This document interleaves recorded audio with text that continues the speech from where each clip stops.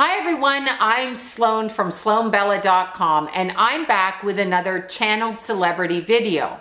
Although in this case, with this particular young woman, she's not really a celebrity in the current day sense. She became more of a celebrity anomaly after she went missing and disappeared and then was later found dead after she came to Los Angeles from Vancouver in 2013 for an adventure. And I'm talking about the young woman named Elisa Lam. A lot of you have asked me to do the video on her and I woke up this morning and literally felt, and it's Mercury retrograde today, I literally felt that I should be talking about her. I wasn't really familiar with the case other than when it happened. I think I briefly, people drew my attention to it briefly, but I never focused on it. I started to focus on her this morning and I got several different things. But before I get into that, I wanted to start by saying that Elisa Lam was a little Taurus girl and she studied in Vancouver. She came to Los Angeles and she was super excited about going on an adventure. And I know how that feels because I love adventures myself. And she was doing really well communicating with her family daily. She was in San Diego for the first part of her trip and she stayed in San Diego. So that is where I'm going to start because that is where I feel the story begins. And by story, I mean the path with which her life took that ended with her passing. So we start with Elisa Lam arriving in San Diego, California for her adventure. The 21 year old had recently been diagnosed with bipolar disorder and she was on the correct medication according to her family. So I thought I'd start with that focus. I wanted to pick up on the energy around her. And there were several things that I got around this young woman that I found really interesting they she's very much like a grandmother in the family so i believe it was the mother on the father's side of the family that was very odd and i believe and i think they would have described her as odd even in the traditional sense of even if she was a grandmother who baked cookies and looked after kids she had this odd talent for things. She seemed very kind of different, this grandmother I'm seeing. The grandmother's personality was very much like Elisa's personality. And it is true, it could have been undiagnosed bipolar disorder or one of the disorders that causes anxiety and all of those depression, anxiety, the up and down of moods with a hormone disorder, any of that. I don't disagree with that. But what I will say with Elisa's energy is she was pointing to this grandmother and kind of acknowledging that the two of them were kindred spirits. They were very much alike and that they were kind of confined in the life that they were living. So even though Elisa was in school studying and she was very focused on becoming something, becoming something, okay? She wanted to be something. We all want to be something. We want to leave our mark in the world. We want to do something. Very few of us leave our mark the way that we set out to leave it, however, and this is the case with Elisa. What I feel with her is that when she came to San Diego, I feel nothing that strikes me like mental illness. There's nothing wrong with her. Her energy is very up. Her energy is very outgoing. She's exploring the city. She's excited to be here and she's actually contemplating moving here. I don't know that she told her parents that at the time. And I'm immediately pulled to the interaction between her and her mother. And I do feel she loved her mother and was, and what I was hearing to say is that at the point that she passed away, what she was thinking about was how she could apologize to her mother for yelling at her mother and disappointing her mother. She was very connected to her mother, and I believe the two of them had been having words prior to her passing and that she was spreading her wings and separating herself from her family as 21 year olds do. That is their point. I mean, they're 21, they're not really grown-ups and they're not really kids. But Elisa kind of pointed my heart to her mother and she really did love her mother and she really wanted to be with her mother. Now her mother had an extremely strong perception and did not want her daughter to come. I got that really strongly. I could feel the energy between the interaction of the two of them and it was told to the mother that she needed to let her daughter spread her wings and fly because her daughter needed to do this or it would cause more problems. So they were tentatively allowed allowing her. Not that they could have stopped her, but they were tentatively encouraging her to do what she needed to do in order to move forward in her life as a person. They did recognize that. So by all intents and purposes, I feel like her family was pretty healthy. I mean, they were nervous for their daughter and their family member, but they were not like overly guarded or overly protected. But the mother was having issues with Elisa's behavior at the time, and they were in conflict. But this to me would be normal because the daughter is basically pushing away from the mother. And what I'm getting from her energy is that she was trying to gently let her family down because she was going down a different path in her life. She truly was going down a different path. So she was kind of opening the door to say, look, I'm not going to go back to school in Vancouver. I'm going to do this. Now, what I get from Elisa, she had this really um, grounded, earthy energy, like a lot of Tauruses do, but she had this really quirky, erratic side to her at the same time. So she was very switchable in nature, which is maybe how she got diagnosed with bipolar disorder because she was up, she was down, she was different. But I think that that truthfully was her nature. So I'm always very hesitant to give people a bunch of medication and say, here, you need to stop this so that we curtail your expression from up and down and moods and feeling life so intently. I think that she was like an artistic person with her emotions. So she felt things vividly and textured and she explored those emotions by diving into them and expressing them and then moving on to the next one. Quite an interesting temperament as I see her colors. They come in waves around her and her expression comes, it's very artistic in nature. And I have a feeling her family wanted to do her, her to do something more traditional. So more along the lines of, um, what would be considered, you know, money generating, ongoing, stable security. Also, all things Taurian. So it would stand to reason a Taurus would have parents that would encourage that. But in Elisa's case, I get more of a free spirit who knew she'd be okay, felt compelled to just do this, like I have to do this. Now, I'm asking when I'm focused on her, and I focused on her before I came to the camera to do this for you guys because I want the information floating around me so I know how I can speak it at the time. But just seconds before I came to the camera, she diverted my attention to several months, probably five or six months before she came to Los Angeles and the work that she was doing. This was very important work for her. She had this really active life where she communicated with a lot of people, but they were people that were more on the outskirts of her life. So these were not people that were at the coffee shop or the gym or at school. She did communicate with those people as well. And she was basically friendly and social by nature, okay, like a, lot of young women but she had this other social life. She wanted to make her mark and she got these ideas that she would write down. So when I'm seeing that, she's kind of showing me that she was an automatic writer. She was always in contact with spirit. This was a girl that knew how to channel information and how to focus on the other side and got and received psychic intuitive information stronger than the average person. So she was somebody that could really open up this energy and pull in information. And she had this idea for an invention is what I'm seeing. Okay. So besides being artistic and creative and erratic and funny and switching her personality off and on, which just sounds like a young girl during PMS, quite frankly. But anyway, she was this kind of energy person. She had this invention idea. She had some ideas in her mind about what she wanted to create um, and how it would make people proud and happy. She was invested in that. I think she felt like a failure within her family unit, which is something that she perceived herself as. It's not necessarily what her family was doing to her. And I will stress that because I feel like this is coming internally from her. All right. So she was kind of picking on herself. She stubbornly picked on herself as if that were the thing to do or she would do it just because for whatever reason. But when I'm seeing Elisa and I'm seeing her for five months, five, six months before she comes to Los Angeles, she is busy chatting online. She is on the computer like a lot of kids do.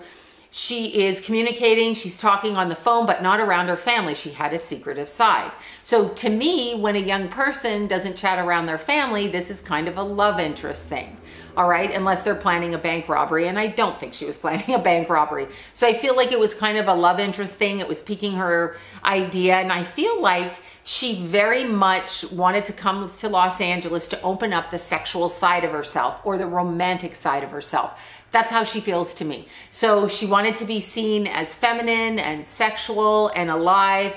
And I'm not saying she hadn't been sexual before, but I feel like she was restricted in her environment, at least she felt And I feel like if she got some distance between her and the family unit, she could express herself the way that she wanted to. She wasn't really doing anything weird or kinky. It wasn't like that, like she wanted to be a dominatrix. It wasn't anything like that.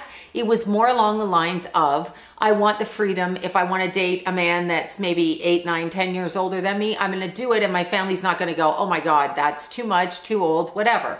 She wanted the freedom of not being under the microscope in her home. Again, nothing really abnormal. So as I'm seeing her, she's before she comes to Los Angeles, she's planning her trip. She's inventing ideas. I see her writing stuff down. She's writing stuff down that she carries with her.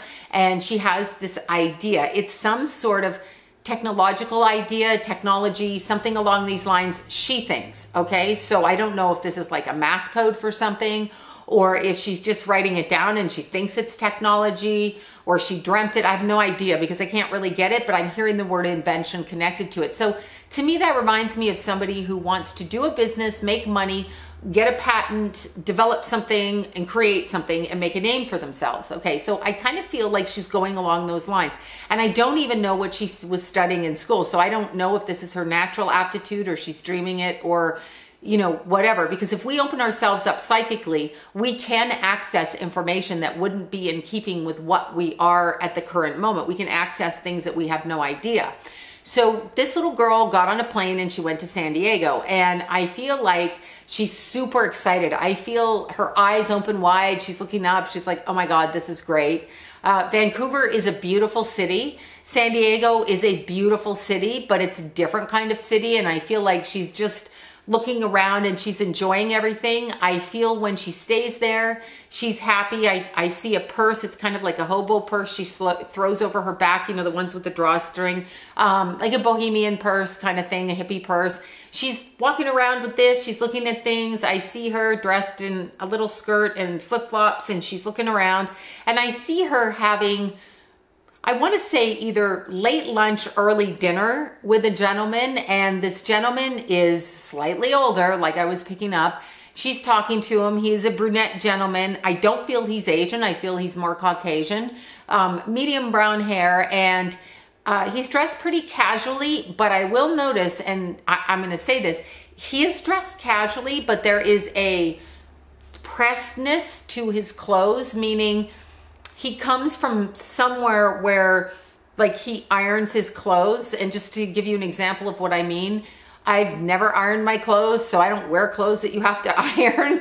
So when I notice it on somebody, these are people that are very particular or have been taught through their life that, you know, you iron your shirts, you iron your pants, you iron your jeans, which is more old school to me, but he's not that old in age compared to her, maybe six to eight years older. And I see him talking to her and she's looking at him and she's smiling and she's like, super excited. She's quiet. She's not doing anything overt. And she's giggly with him like a little girl who's found her crush. So I feel like there was some personal knowledge of this person before she got to Los Angeles. And I feel like she kisses him on the cheek and then she says, I'll see you later in the week. And then when I flash from that, I come down to where she stayed in downtown Los Angeles at that Cecil Hotel. The Cecil Hotel that we know about from all of the horror movies that we see and it's a haunted hotel supposedly and it's just outside of Skid Row like right down the street from Skid Row and the energy there is kind of um, bargain basement I guess at the time that she stayed there I'm kind of unsure why she would stay there because I remember being a girl her age and coming to Los Angeles and not necessarily picking something off of Skid Row for me to stay in. Maybe I wouldn't have researched it, but that hotel has always had kind of an air of, you know, if you're not a, I don't know, whatever, don't stay there. Like if, it, probably for a young man, it might be okay, but a young woman, I don't know about that. However, I'm looking at it from this perspective, and if I was her age, I don't know that it would have bothered me. Uh, maybe I just lucked out and stayed somewhere different. But she is, I can see her the day that she walks in there, and she's not really noticing what's going on around her. So remember, as I'm seeing, she's showing me that her practice of meditation, she's very psychically aware, very intuitively open, and she can pick up on energy. She can pick up on spirit. She does hear things. She does see things. So she's trying to harness that energy. And I almost feel like she's been told that the more that she practices this, she can have what she wants. Like it's going to focus her attention and it's going to help her become a success. So as I'm looking at her energy, she's really focused on just walking into that hotel. She's not carrying much stuff and she's just kind of marching through. And I like that style about her. And she's just, she's a happy-go-lucky, nice young woman.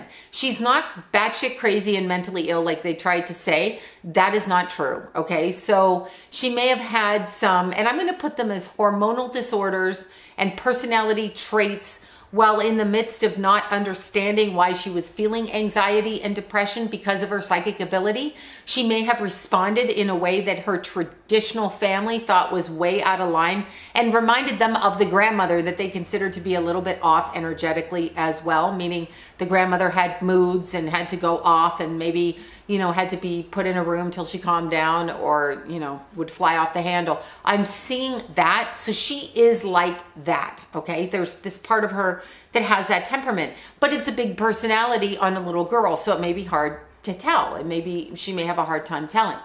I mean, understanding what it is, but she is taking her medicine. She's kind of assuring me that she's taking her medicine. So I'm seeing that with her. She is doing what the doctors told her to do. She's being good. She's not really afraid of anything. There's no fear around her at all. And I see her going in and out of a room, in and out of a room. She's exploring the city. Now, what she does notice and what I'm picking up, of course, I've been down to Skid Row, so it's not so hard to say. I actually have, as a psychic person, a very hard time even driving by Skid Row when my kids were little, I would drive there because Santee Alley is on the other side and that's where the fabrics are, the fashion district, that kind of thing. So you're going to drive through Skid Row and you're going to drive through to the other side and you're going to pick up, you know, do the stuff you want to do and come back through if you go that way. Um, the energy down there always gave me a massive headache. It was like a blinding headache between here. And it had nothing to do necessarily with any particular type of person. It was more the energy collected. So I really do feel downtown Los Angeles has something that surrounds it that's like an energy vortex that just now as i'm looking at the energy around elisa when she's walking in and out of the hotel and as i said before i used to get terrible migraines when i was downtown and i call them migraines i would just get piercing through here and then the energy around me would be extreme and I'd be so tired I'd have to drive home and crawl into bed.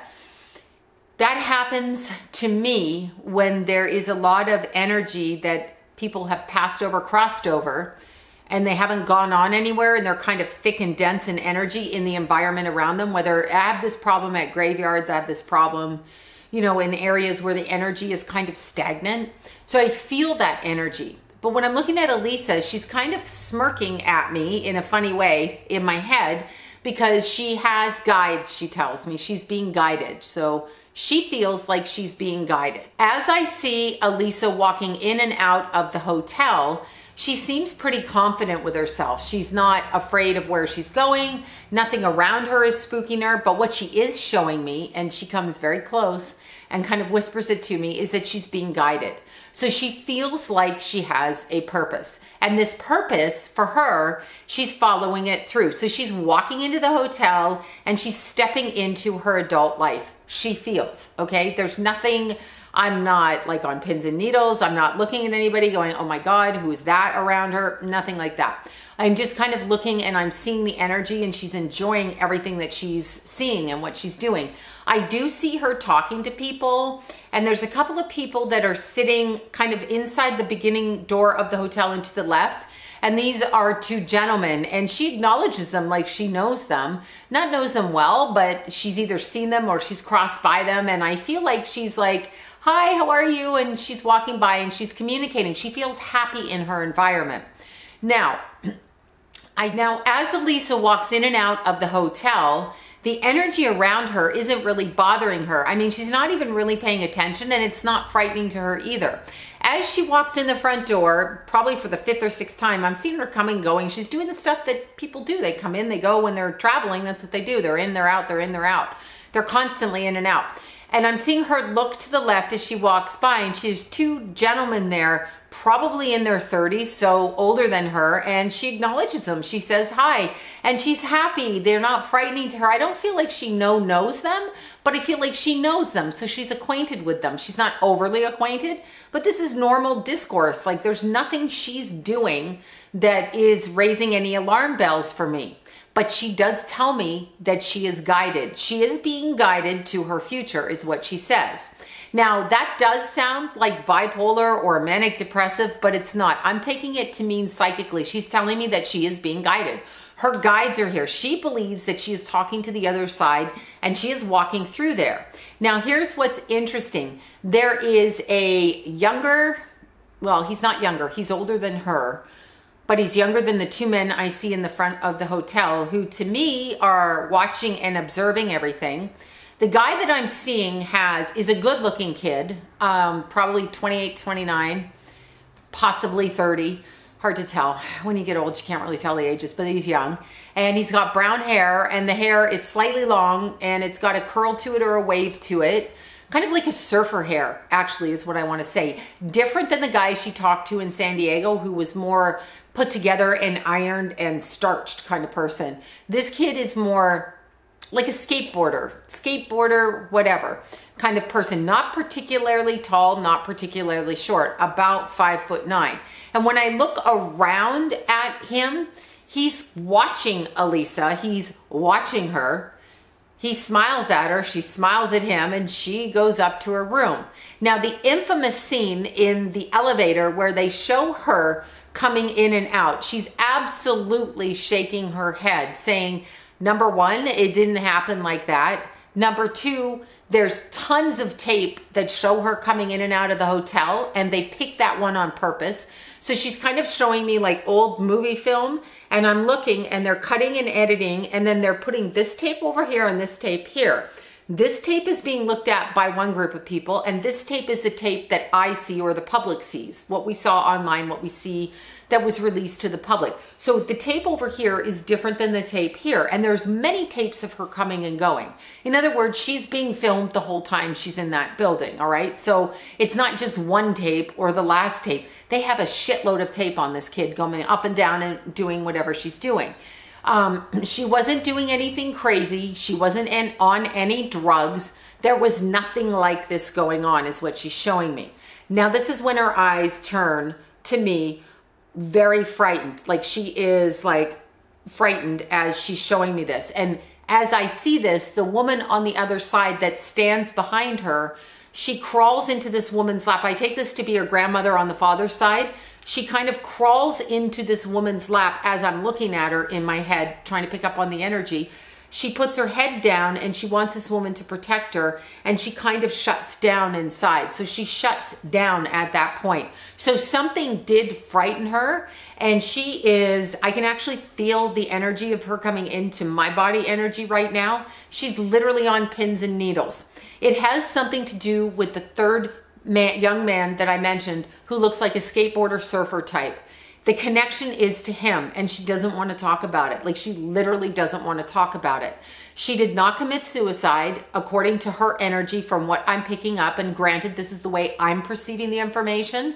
Um, this is not a suicide. This isn't even accidental. This is not a drug hallucination. So she wasn't on some kind of weird ass drug and she took it like LSD and she thought, you know, she was at the beach, but she was in the water cooler on the roof. She did not take herself up to the roof. She did not do that. The reason that the tapes are missing, and she's showing me many tapes, there's a tape that goes up to her room and to her floor with either five or eight people. Now there's three people off in a corner and five down here. So I think Altogether, there's eight people, but maybe five were in the elevator and two were off to the side. But there are eight people involved in this, five of which are on tape, five of which we've never seen on tape, five of which the tape was destroyed. Now, why was the tape destroyed? Ask yourself why anything is destroyed. Because we don't want you to, we don't want you to see it. But why don't we want you to see this? The little girl, Elisa, and I say little girl because she really was a child, was found in the water that the water containers on the 15th floor of the building, the Cecil Hotel, and she was in there and she was found, her clothes were found in there, her hotel keys were found in there, her um, wallet was found in there. Everything around her was found in there. What is interesting is several days prior to her death, her cell phone was stolen or went missing or she forgot it. I highly doubt she forgot it because when we're on vacation and we have a cell phone and we are using social media, we don't usually leave that behind. We're very savvy to it. So I'm going to use the word stolen and I'm going to call her a targeted individual. I'm going to say she was a targeted individual before the term became popular. I don't feel that she didn't know who she was targeted by. I think she actually was befriended by the people that wanted to do her harm and or targeted her because what she's showing me is the guides in her head or the voices that she was hearing and it's not a schizophrenic thing. She actually thought she was channeling information. She is a psychic person intuitive. She's heard things before ever since she was a little girl. This is not unusual. It runs in her family. They don't want to admit it but it runs in her family. So she was targeted. Now why was she targeted? And this is when her energy kind of so as i'm looking and i'm putting the information together cell phone missing hearing voices being guided, um, not being on medication, suddenly becoming fearful and shutting down in spirit. So there's some trauma involved. That usually tells me there's a trauma involved when they're showing me. Now keep in mind, on the other side, they're no longer in trauma, but to show me, I have to be able to pick it up because I feel and see it. So it plays in front of me. So they have to show me when they're scared or I wouldn't know unless they were able to actually tell me in a different way, but the way that we're communicating, this is how she's responding. Um, I feel that she was targeted. So I feel that she was picked for a reason. But here's where everything gets crazy in my head. Why would you pick with somebody? Why would you target them? She's just 21. Who cares? I'm going to say, I'm going to say this. I'm going to come right out and say it because this is what I got. And I was trying to put the pieces together and I was writing it down and I didn't know if I should say it, but I'm going to say it the energy around that hotel for many, many years, people disappear from around that hotel. People have instances happen, people around the hotel. There's an energetic vortex that is used around that hotel for predatory people in positions of power who need to utilize this energy in order to do whatever it is they're going to do. With Elisa Lam, I feel like she was led out of the elevator. She most certainly is seeing somebody in that video where you see her and she looks kind of crazy when she's in the video because her hands are moving and she steps in and steps out. It is the voice, the targeted voice targeted at her that's encouraging her to step out of the hotel elevators. So she's looking to see what's happening. And she sees the skateboarding guy around the corner out of camera or on camera. And is that why the film is missing? Because this kid is somebody's kid. And that's what I'm hearing. I'm hearing this kid is somebody's kid. Now, He's almost 30 in his looks to me, so he's not really a kid.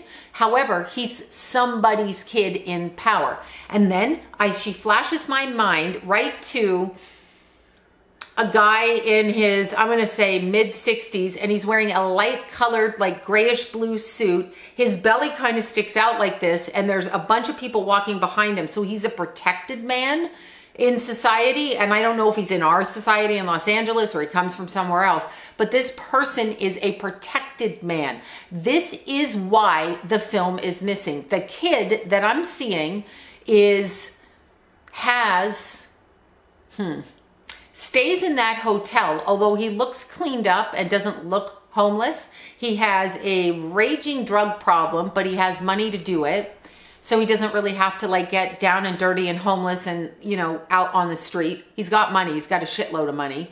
Um, he dresses casual. He's got groove to him. So he's got street cred and groove. He's kind of sexy looking so i can see where a young girl would be like yeah he's cool. His appearance to me and this will sound weird he's a shorter version of like um, john kennedy jr kind of looking kid. That hair that style but just not as tall as him. So he's a shorter version of that. And he's kind of smooth talking, but he is a raging drug addict. And I'm seeing him, he does these, these drugs. He likes to shoot up. He does things like this. I don't think that's the only thing he does. And I don't think he's doing that like 24 seven, but it's part of who he is. He's a party kid. Now, as I focus on his energy, he shows me now she shows me him not he shows me him. I believe he's still alive. He's in the party circuit and he's hooked up with people that we would consider well known so when he goes to the party circuit he totally looks different. He puts on like weird makeup. Um, he dresses differently. So he's kind of like um, glam rock from the 70s or 80s that's what he, the makeup looks like to me. So it's it's that in between that I don't know, like you're dressing up for a rave and you're a character kind of person. He does this. This is side and a separate. She's showing me that. She's showing me that right now because I didn't get that before. And he dresses up separately like this. And then he goes to rooms, the cigarette, he does smoke, the cigarette, and there was a cigarette found by her body too at the bottom of the tank. Not in the tank, outside the tank. And I don't know if they ran DNA. Just, just heard that right now dropped a cigarette, but then maybe a lot of people go up there and smoke on the roof because you can't smoke in the hotel. I don't know. I don't know what the laws were like back then. Um, because this is seven, seven years ago or almost seven years ago. Okay, so he's a party, a club a kid. He's got a predilection for crazy shit. He likes to choke women. He likes to twist things around their neck and he's involved and i'm going to come right out and say it again he's involved kind of in an occultist family from what i'm seeing meaning he is a child raised in an occultist family where they practice all of this kind of thing he's a person who partakes in ritual and things like this and also sexual deviance to the point of extreme i'm not saying like if you do a little choking or a little whatever, you're a deviant. I'm saying he practices it to the point where the people die, and that's a little bit extreme. He does stuff like this, and it's done in the sense of, I was raised like this. His family's kicked him out, but they supply him with money because they don't want to draw attention from him to them.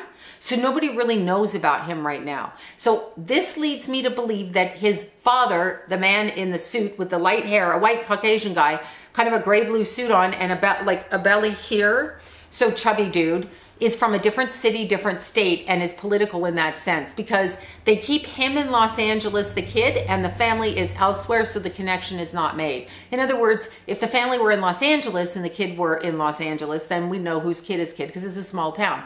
This is different. So this is a, to me, political or or or person who has stature in society over here in a different state, and then the son is here. The son does this stuff. Now there are people watching him and there are people encouraging them him. This to me is a ritual killing. I know I'm saying it. I know what y'all are thinking. I never thought it before, but I'm going to straight out say it. This girl was murdered to for the witness of others in order to prove a point, to say something, to say, "See here, it's done." Um, I don't think the murder was about her. I don't think she did anything. I'm going to use the word targeted individual. She was targeted for her features, for her ethnicity, for her joy, for her happiness, and the fact that she was intuitive and she could kind of see what they were doing. She was on some level gang stalked for five, six months before this happened. This is what led her to Los Angeles. She thought these thoughts were hers because she was so excited about it.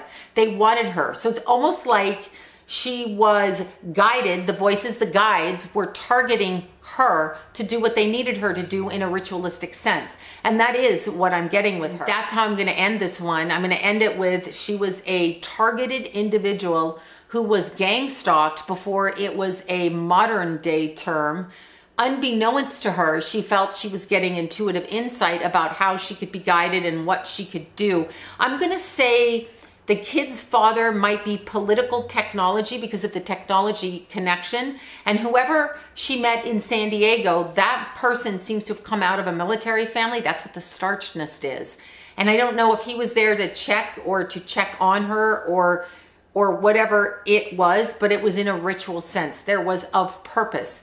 The kid that actually did the killing, and there was rape involved in this. I know they say there wasn't, but there was. Um, I mean, I don't actually know what they say with the body because I believe they changed the scenario several times. And so when you see Elisa walking out of the elevator and you see her moving around and looking like she's like crazy or drunk or high, she's not. They've done something with the actual tape of what happens. You can't see the people because it's been politically covered up and the money connection has been covered up. Okay, so once again, my name is Sloan from sloanbella.com.